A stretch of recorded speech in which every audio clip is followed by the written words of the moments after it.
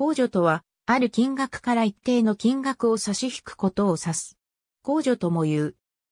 労働者に支払われる賃金は、労働基準法第24条の規定により、原則として賃金の全額について支給することとされるが、その他の法律の規定により支払われる賃金から税金や保険料など特定の金額を差し引いて支給される。欠勤控除は労働基準法に規定されていない。賃金から税金や保険料などを控除することを天引きとも言うが、もともと天引きとは金銭消費貸借においてその期間の利息をあらかじめ差し引いた金額を貸し付け、期間満了時に貸し付け金額全体を返済するというものである。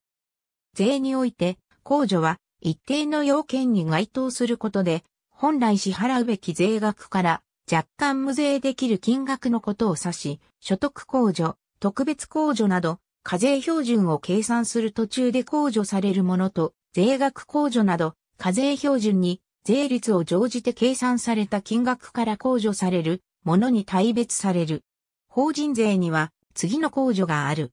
消費税には次の控除がある。